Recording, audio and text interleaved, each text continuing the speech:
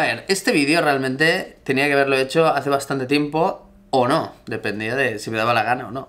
Pero el tema es que al final lo hago porque no paran de, de lloverme mensajes por todas partes de que he estudiado, lo cual, lo cual me, me asombra, ¿eh? me hace sentirme ahí un intelectual, un intelectual de las moléculas. Pero, pero no, lo, lo cierto es que seré muchas cosas, pero intelectual no demasiado, la verdad.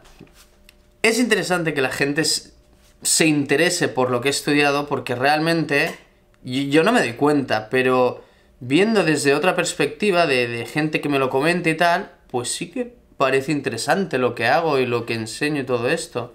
Entonces, bueno, lo, lo, voy a compartir porque realmente es muy accesible para todo el mundo. No vale dinero. Bueno, lo justo, unos cursos y tal. Y lo, lo que sobre todo no hay que tener es pereza. Porque si tienes perezas más excusas, no harás nada. Entonces, yo lo que he estudiado realmente te va a sorprender porque yo he sido siempre un hiper malísimo estudiante. Bueno, igual ya lo aparento, ¿no? Pero, pero siempre se me ha dado fatal. El cole, buah, yo no sé cuántas veces repetí curso. Yo creo que ya me pasaban, pues mira, pobre chaval, o, mira, que le está saliendo barba y estos aún no han dejado el chupete. Pero un día me di cuenta de realmente qué quería en mi vida, aparte de patinar y montar en bici y todo esto que, que hacía, que por eso no estudiaba.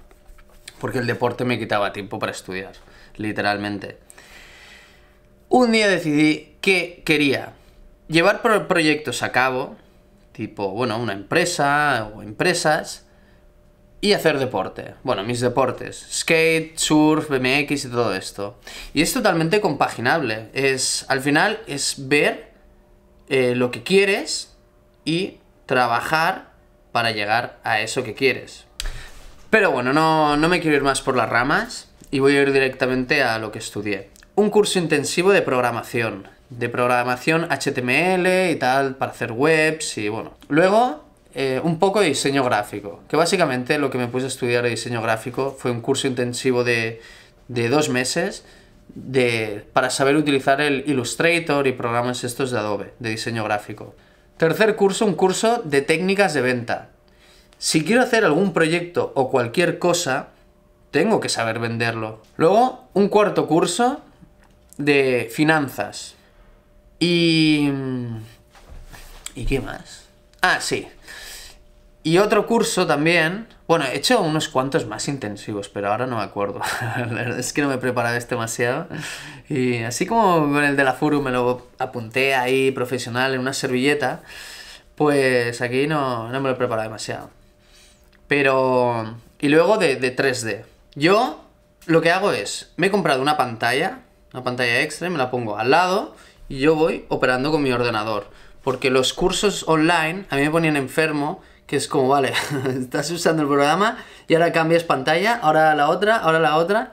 Pero si te compras un monitor, una pantalla, que por 70 euros tienes una bastante guay, y un curso de estos, este de Blender me costó 30 euros.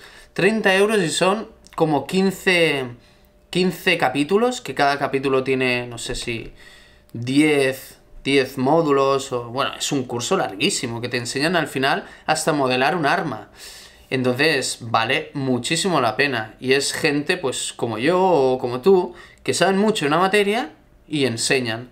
Así que tampoco te creas que son licenciados en Harvard de 3D y tal, no, no. Es gente normal que te explica con sus truquillos y tal. Y para mí vale muchísimo eso. Porque no, no ponen la corporatividad ante todo. Que es lo que le mata el, factor cálido, ¿no? De, de, todas estas historias. Esto que conste que no es, no es anuncio pagado ni de coña. O sea, el que ha hecho este libro ni siquiera sabe que existo. Pero, pero bueno, es un libro que realmente a los que le molen los negocios eh, online y los proyectos online así, vale la pena que se lo lea. La economía long tail. Lo dejo ahí. Bueno, espero no haber sido muy pesado, pero he intentado explicarlo lo mejor posible eh, en, eh, en lo más breve posible.